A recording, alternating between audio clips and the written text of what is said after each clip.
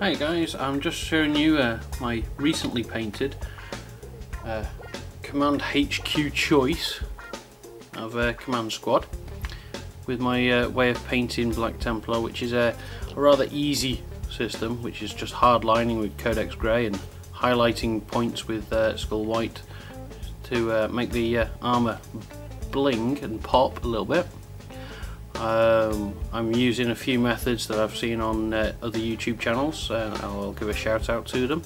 Um, Les from Awesome Paint Job for this uh, technique for the power sword which I, I, find quite vivid and striking, probably a little too bright but uh, I think possibly I'll, I'll, tweak it a little bit in future to see what I can come up with. Uh, I'd like to give a shout out to uh, Painter Nerd for uh, some of the techniques and advice on uh, transfers which you can see on this banner here.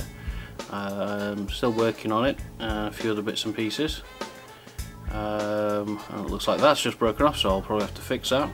Um, I'm also learning other techniques uh, weathering which I've put on like uh, pigments mud effects on these lighting effects that I've got on my um, apothecary there. uh, commander here which uh, I did earlier.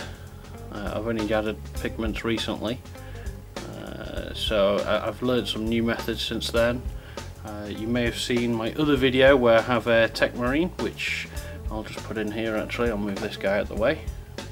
You can see uh, on here I've actually done uh, some of the uh, kind of plasma techniques of power and things using an airbrush which you can see up here in this area by shooting just above there and on here you can actually see the airbrush effects where I've actually uh, using overspray to create power and plasma views and points of view um, which is quite nice.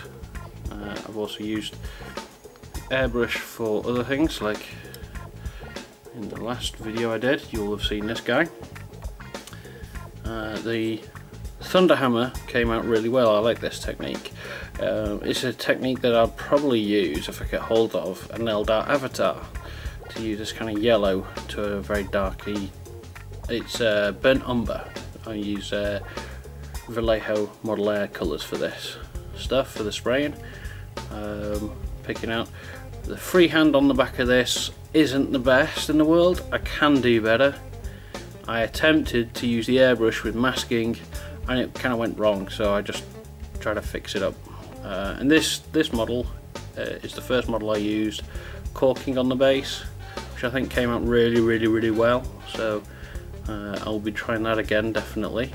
Because um, with this this commander I used uh, GW uh, I think it's a resin piece for the base which isn't too bad just a bit bland and it kind of stands up and you can see it's very different. On this guy I used um, a pre-made resin base but with this I used cork, sand, cut out cracks, let it overflow in, and all that so that, that I'll definitely be doing in the future. One other thing I did with this guy that I probably do to a lot more plastic figures is in the UK I used a one penny piece PVA glued into there. It just gives it a bit more weight uh, so it doesn't topple easily doesn't get knocked over easily. Um, I'm an old player of uh, 40k so lead figures before they even went to white metal and tin so uh, yeah this is my command squad so far. Um, I've got quite a lot of figures already pre-painted in this kind of simple and easy way of painting Black Templar figures so we uh, you might get some back catalogue shown on there. We'll, we shall see. Uh, but tell me what you guys think um, and hopefully you will like subscribe comment and all that guff. Thank you very much. Bye